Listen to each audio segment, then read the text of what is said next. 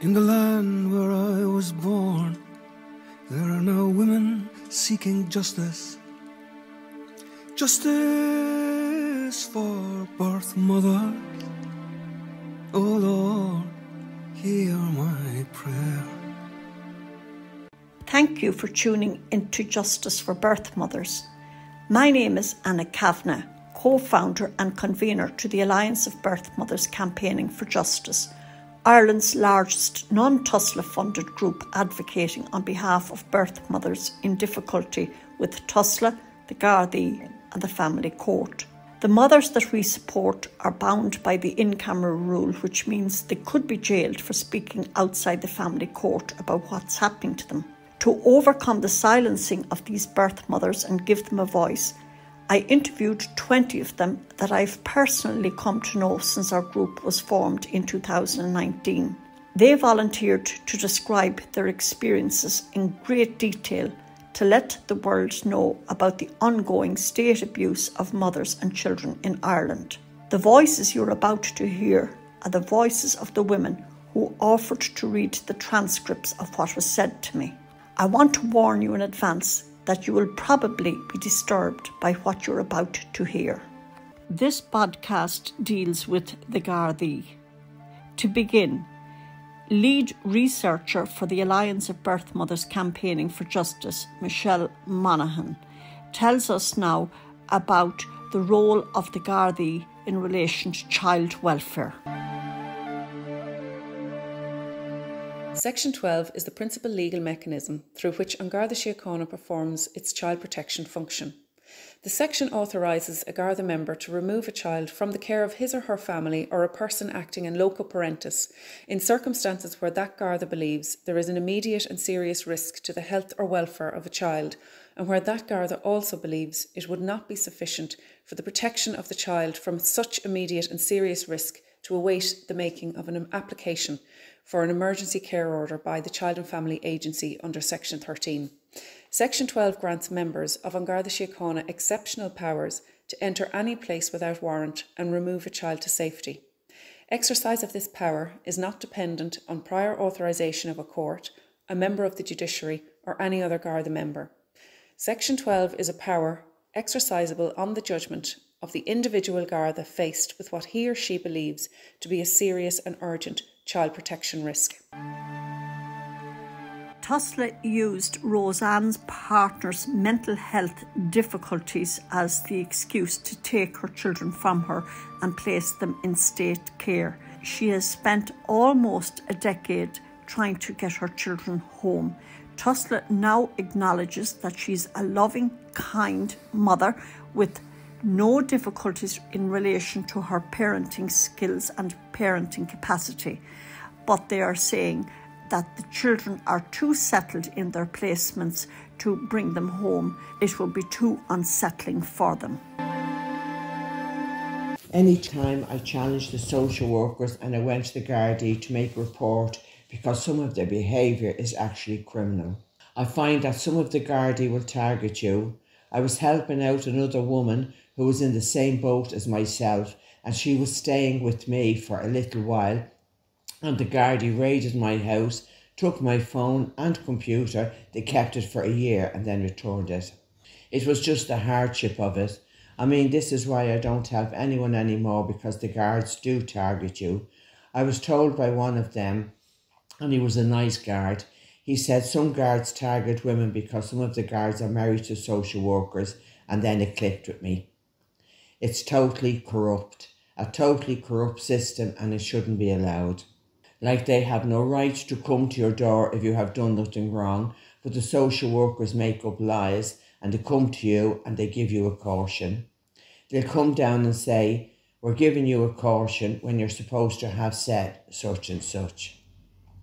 They just take the social worker's word for it. I find it very vindictive, unawful experience with the Gardaí. I'm not saying that they're all the same. There is a kindness to some of them, but there's a lot of them I find very malicious, very, very malicious. Look into your mother's face. No one else can take her place. Justice for birth mothers, oh Lord,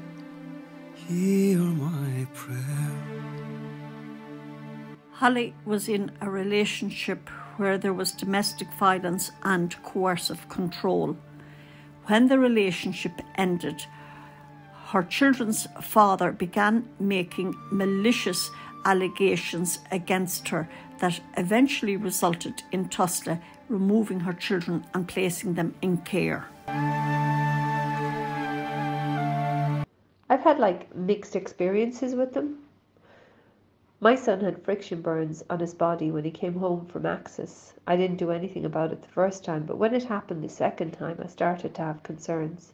My son's behaviour was starting to change. So then I just point blank asked him, I said, Did daddy hurt you? Did daddy do this? And he said, Yes, daddy did. My ex admitted in a text message that he did it. I went to my local Garda station to report this. The guard didn't take me seriously. He refused to listen to anything I had to say. He basically brushed me off, saying that I was basically a, vindic- vindictive spouse. Another time, my ex contacted the guard saying that the children were missing and that I was mentally ill. The guard in this case, she, she was amazing. She was absolutely lovely. She was kind. She was absolutely lovely. I explained to her that he was being malicious and that I had text messages to prove it. She was amazing. I submitted a GDPR request to the guards and I'm waiting on that to come back.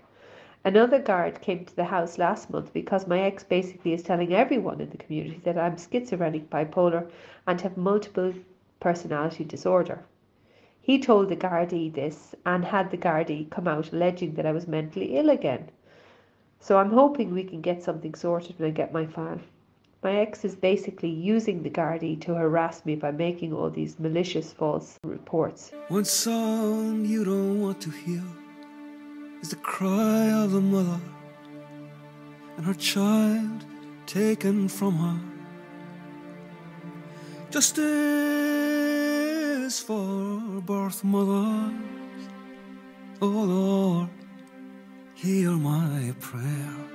When Josephine was pregnant, the relationship with her partner broke down and she ended up parenting on her own. When her child was a year old, the child's father went to court in order to get access, and the court granted him supervised access to the child. So basically, he had access, and for several months it was supervised. And then after that, as soon as it became unsupervised, we just noticed things like just like a pattern of things that like she was often sick after access and diarrhea and things like that. And so we eventually started to make a note of all that kind of thing. I did say it to him, but he didn't give any real kind of an explanation for it. And so then we just started noticing as the months went by. It was actually more my mother that noticed things with her behaviour.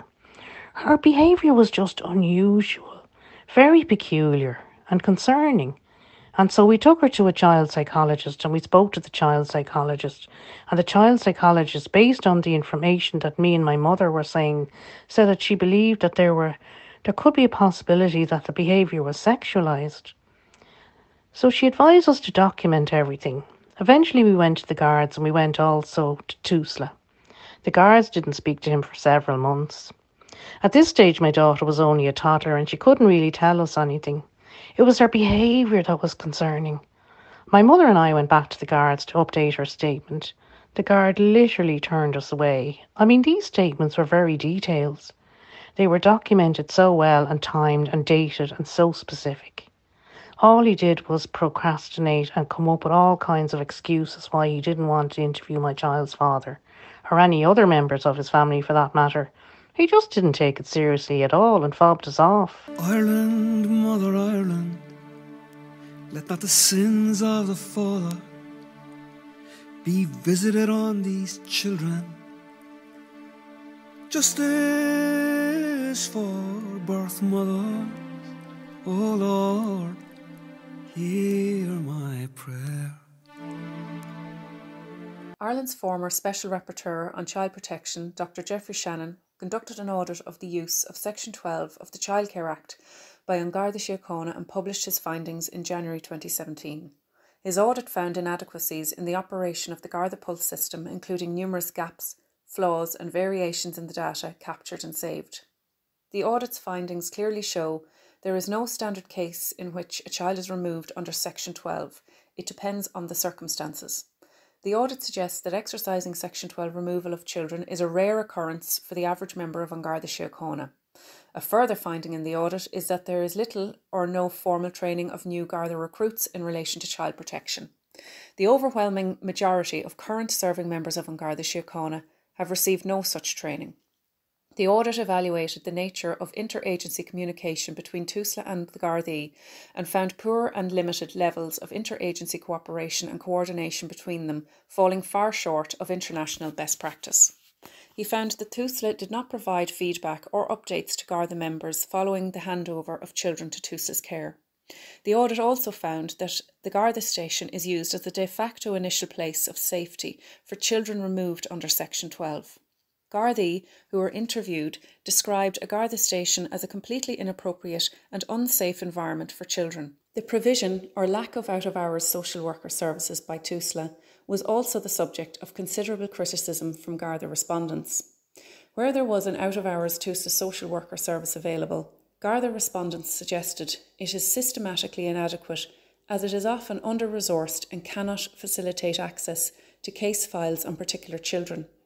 The audit found that TUSLA rely on private foster care services as the de facto official out of hours child protection service, and there is a pattern of them refusing to organise placements for children with challenging behaviour. In these cases where placements were refused by private providers, there was no other agency available out of hours to deal with these children, according to Shannon. Dr. Shannon was made a Circuit Court judge last March. Yana is a professional lady living and working in Ireland for more than 20 years. Jana claims that the father of her child abandoned her as soon as he found out that she was pregnant. She ended up parenting on her own. Eventually, it came to light that her daughter had learning difficulties and was on the autism spectrum, and she began missing days from school. Social workers arrived for the very first time at her house and decided that Jana had mental health difficulties and they sent for an ambulance to have her brought to the local hospital and they took her child. Jana was discharged from the hospital within a couple of hours and when she went home, her child was gone and she had no idea where she was. It was many months before she discovered that the child was with her father. I can only say that there is absolutely no point in asking the Gardaí for help. There is absolutely no point because when my daughter was taken away and I couldn't get any kind of documentation regarding courts that there is any kind of court order to take my child, I asked the Gardaí for help. The Gardaí, they did, didn't do a thing. There was one guard who actually was nearly shouting at me, What do you want? What do you want me to do? Go and talk to TUSLA. And I'm like, Jesus Christ, I'm asking for help because if I don't know anything, I have no information. She is somewhere where I don't know where she is. For me, it's abduction because I don't know where my daughter is. The Gardaí will not help. They don't want to get involved. And I actually read quite a few articles that even with a court order, if the non custodial parent is keeping the baby, keeping the child, they will still not do anything because the minute they hear TUSLA need, they back off the back away. You are on your own. There was absolutely no point in going to the Gardaí. It was a waste of time. They think that you are a nobody because this is how I felt when I went to the station with a request to get my daughter back. Because, to be quite honest, they are linked. So, whatever TUSLA has in their system, they have access to it because it's legal. He could have he could have checked the system and tell me that, yeah, let's say there was an ex parte court case, but they don't want to deal with us. They just don't want to deal with it because we are straight away judged that if our kid was taken away, we are trash. My children have been taken by the force of law and order in Ireland, Holy Ireland. Justice for birth mothers, oh Lord, hear my prayer. Clara claims that she has been subjected to a horrific campaign of Garda intimidation and harassment for more than a decade since she arrived in Ireland for her safety, having testified against a dangerous criminal in the court in the UK. Shortly after she arrived in Ireland, the Gardaí came to her isolated rural homestead looking for passports. They removed her children on three separate occasions, and it has been established that the children have at times been removed illegally. She's still being subjected to harassment and intimidation from the Gardaí. Recently, after she lodged papers in the Supreme Court naming the Garda Commissioner, when she returned home on the train, there were two Gardaí waiting for her in the station where she claims they harassed her and questioned her about her movements. Her daughter, too, has been subjected to Garda harassment. Recently, they broke down the door of her apartment and they arrested her under the Mental Health Act and brought her to hospital. She was discharged a couple of hours later. Then, a fortnight later, a repeat performance, she was arrested again under the Mental Health Act and brought to hospital, and she was discharged shortly after she arrived in the hospital. My children were taken from me three times, always by the Gardaí. I never had a social worker come to my door to take my children. It's been the guards that have taken my daughters. The first occasion the guards detained me for a supposed motoring offence, and whilst I was detained for a motoring offence, which I don't believe has anything to do with my parental ability, they then went to the children's schools and took them out of school, and the school staff just handed them over without any question. I asked them afterwards, like, did you ask the guards what they were doing, or where was I? They said no. As soon as they said they wanted the children, we just handed them over. It's unbelievable. I didn't know how to appeal, but I certainly found out.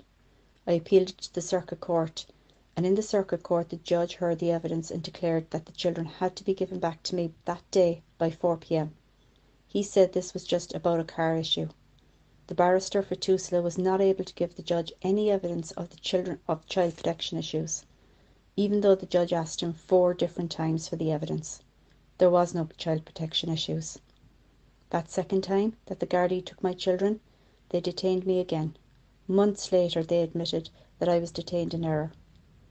The Gardaí came to my house and they arrested me and brought me to the station, and they took my children to a different station, and then they were given to strangers. I've since had it confirmed that I was detained in error. That's a pretty big error. I never got an apology for this error, even though I tried and tried to get an apology. This time they held on to my eldest daughter, and they gave me the two little ones back. My eldest daughter ran away from the foster home. So when they eventually caught up with her, they took her to a Garda station and they handed her over to Tusla social workers. Because they had the oldest child, they then targeted the younger ones and took them from school. Five guards surrounded my car in the school playground with all the friends and the family of my children watching on in the school playground at pick-up time. Five guards surrounding my car and stopping me getting out of my car and making my daughters cry, making my children cry. They were fine before that happened.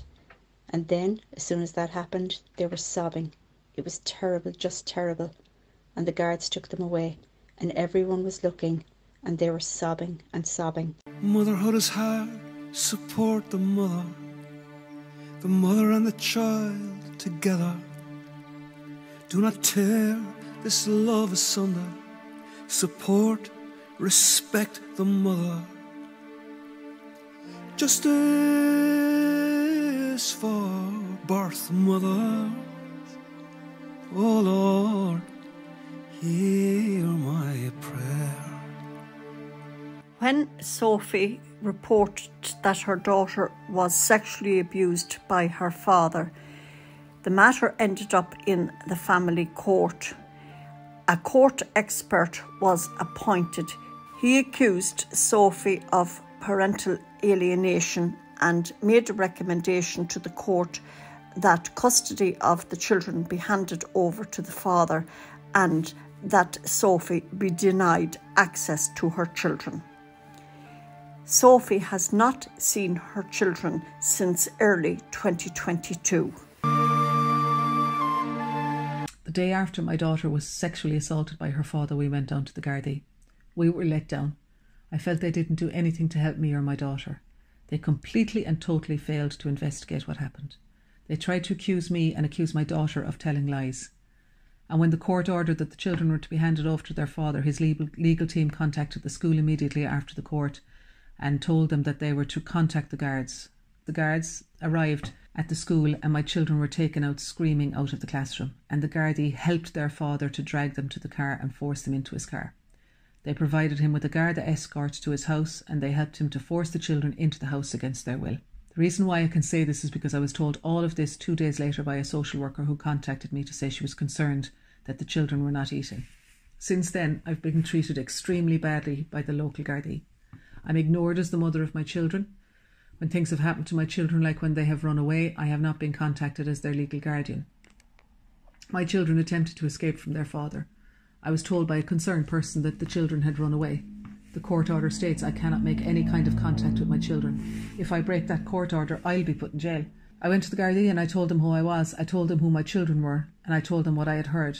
When I said I just wanted to know were the children okay, that's all. I I just want to know. I, I don't I won't break any rules. I'm not asking to see them. I would just like you to tell me that my children are okay. And a guard stood in the ta- in the station and he roared at me that I must be a drug addict or an alcoholic to have had my children removed from me.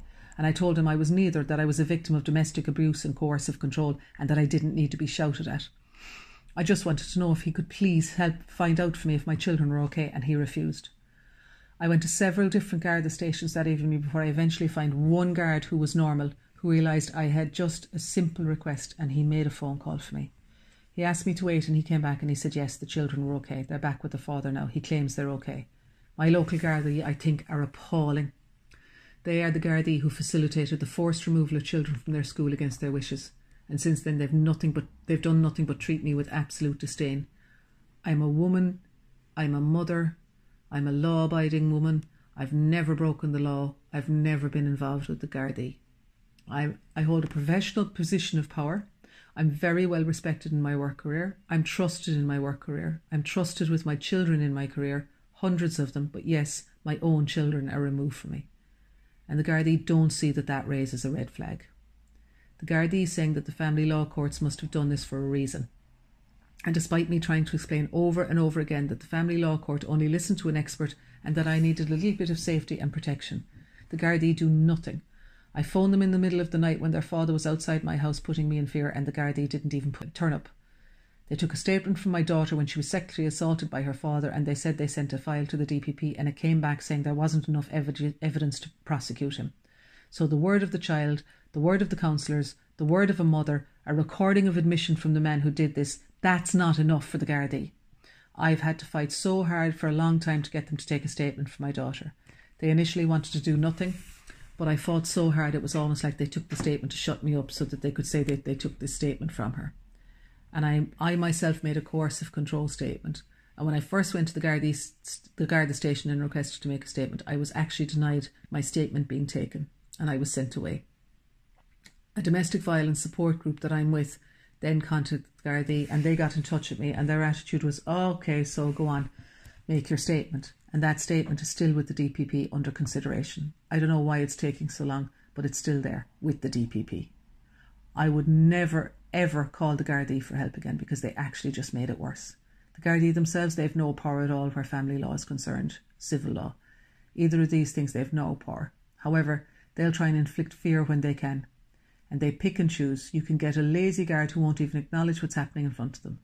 So I think the Gardaí are useless, absolutely useless. And the fact that they involve themselves in a civil matter in family law where they forcibly remove children, I think they should be ashamed of themselves.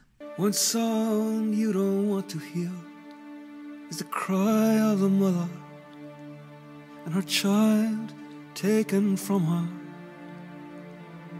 Justice for birth mothers, oh Lord, hear my prayer. There's evidence that very little has changed in the six years since the publication of Geoffrey Shannon's audit of the use of Section 12 of the Childcare Act by An Garda Síochána in 2017. Speaking in the Dáil earlier this year, on Thursday, the 4th of May, former social worker Deputy Patrick Costello made the following remarks. There are many continuing failures. From speaking to frontline social workers, I learnt that the specialist portal that is exclusively for An Garda Síochána to report concerns to TUSLA is rarely used or inconsistently used depending on the area. Specialist interviewers within TUSLA who are social workers trained to conduct forensic interviews carried out jointly with Gardaí that can be used as evidence through a video system are not being used. We are spending money on training these people but are not using them and many of them are leaving TUSLA. There is inconsistency around the country in areas of practice. A joint protocol of working between An Garda Síochána and TUSLA calls for annual reviews. This is not happening. There is a way forward and a way to get them working together, namely an element of co-location. Seconding duty social workers to the Divisional Protective Services units means they automatically work together from the beginning. We have seen from the Section 12 audit conducted in TUSLA that there can be strong relationships between Gardaí and social workers that improve outcomes for people receiving support from TUSLA, but again, these are ad hoc and inconsistent. These come up because people are working together, but if social workers and Gardaí are transferred, the structural arrangements are not there to ensure interagency work. This is why we need co-location and the secondment of duty social workers to the Divisional Protective Services units so that they can work together and sit at the same desk, in the same office, in the same porta cabin. This will automatically improve and create better structures. Maeve is another mother who, like Sophie, reported that her daughter had been sexually abused by her father. This resulted in her children being temporarily put into state care. But fortunately, unlike Sophie, Maeve succeeded in getting her children brought home to her. The guards were not supportive in relation to the crimes against myself and my children by my ex partner. And I've had a lot of guards that I recorded that came to the house for no reason, only just to be a nuisance, I suppose. There's definitely one room for victims of domestic violence and another rule for the perpetrators. And I've had a heavy hand of the guards when a breach of the safety order would happen. And they would come to the house and they would laugh and they would say a judge would laugh me out of court, and I would say, The order is mine, guard, you are here to facilitate it. And the judge makes that decision, but they just laugh. So basically, they haven't been supportive. They weren't supportive when my daughter made a sexual abuse disclosure. The guard was a female guard, and she actually laughed at me. When I was making a statement, she was on the phone, leaving the room, coming in and out, and being very blasé about it. She wasn't really giving me much attention. One guard falsified everything when I made a statement, and he did it right in front of me. The guards used coercive control to make me hand over my bank accounts, all my medical history to give to the perpetrator. Ireland, Mother Ireland, let not the sins of the father be visited on these children.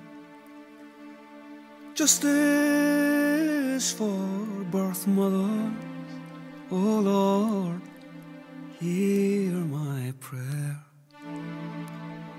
Erica is a third mother who got into difficulties when she reported child sex abuse. She's currently appealing a circuit court judgment that the custody of the children is to be given to the father and she is to be denied access to them. A court expert made a report for the court stating that she is guilty of parental alienation and the recommendation is that she shouldn't be allowed to see her children. The children's father has made so many false allegations against me that have been investigated by the Gardaí, and every time it was found that the allegations were fictitious. I was assaulted at a handover with him one time. I rang Tusla. They didn't seem concerned and said, Well, if there's an issue, just report it to the guards. I did report it to the guards. The guard recommended that access should be under CCTV to protect me. Tusla said they had no concerns for my safety and would not recommend that the access be changed so the handover be under CCTV. Look into your mother's face. No one else can take her place. Justice for birth mothers. Oh Lord, hear my prayer. Danielle was a victim of domestic violence and coercive control. Her husband did everything he possibly could to try and have her committed to a mental hospital, making claims that Danielle was mentally ill. He even succeeded in convincing some members of her family and indeed some professionals as well. I do feel there's some very good guards out there. There's some very good ones. And there's also some very bad ones who seem to have an excuse for basically not doing their job. And they'll always find some sort of an excuse, maybe not to take your complaint or not to take it seriously. And, you know, sometimes the excuses might be, well, it's not an excuse, but it's kind of a rationale. Like, you're saying this because you are divorcing him. That's the kind of attitude you get instead of a criminal case against him or coercive control or false imprisonment, etc., etc. And I feel there's not much training in the Gardaí around domestic abuse. And you're very lucky if you come across a guard that gets it and that, that understands. And I've come across one or two. And when they do get it and when they do understand this, they do give you their time and they'll go out of their way to give you their time. So they're not all bad, far from it. Look into your mother's face. No one else can take our place. Justice for birth mothers. Oh Lord, hear my prayer. Mary was a victim of domestic violence and coercive control. When her husband threw her out of the family home, the family court made an order that the children were to remain with their father. Eventually, she managed to escape to the UK with three of her children. When he tried to get the children back using the Hague Convention, a court in the UK named him as a major abuser and he was put on the Interpol list. Despite this, Mary has been unable to get her two younger children reunited with her. I was with my ex husband for 18 years and he was extremely mentally and physically abusive. And I tried to leave him on several occasions but stayed because he threatened suicide and all sorts of stuff in front of the children. So I stayed for a long time. He knew the marriage was over, and so in the end, he threw me out of the house in front of the children after he abused me in front of the children and physically assaulted me. And what happened after that has been a nightmare because essentially, when he threw me out of the house, he filmed himself throwing me out of the house and put it all over social media for my work colleagues. He never went to work, and I was the breadwinner. After he threw me out, I went to work. I had fears for the children.